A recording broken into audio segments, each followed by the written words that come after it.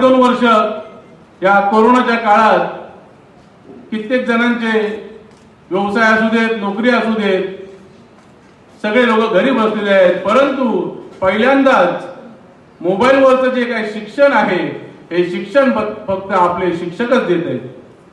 अविरत कार्य चालू आहे त्यांचं.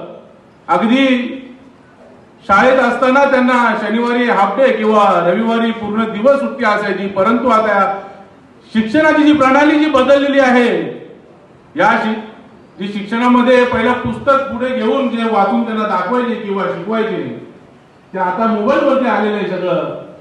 याच्या अगोदर शिक्षकांना मोबाईल बघायला वेळ नसायचा. आता मात्र शिक्षकांना मोबाईल बघण्यातच वेळ जातोय.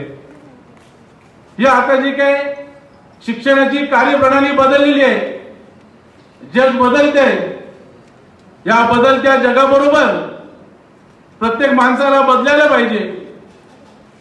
आणि हे प्रत्येक माणसाला जमत नाही. ज्या माणसांना मोबाईल बघायला वेळ नव्हता जे शिक्षक ज्यांना कॅमेराचा मोबाईल नव्हता three G four G data दूरची गोष्ट आहे सर. पण ज्या शिक्षकांनी अजूनपर्यंत बाराशे रुपयाचा मोबाईल वापरत होते त्यांना स्मार्टफोन सोबत जी काय आता वागायला लागतंय स्मार्टफोन घेऊन जे काही शिकवायला लागतंय ती कला छोटी मोठी नाहीये. आज हे ऑनलाईन सगळं शिकण्यासाठी लोक क्लासेस लावतात. कॉम्प्युटर क्लासेस असू दे किंवा अनेक प्रकारचे क्लासेस आहेत. पण आपल्या ते शिक्षकांना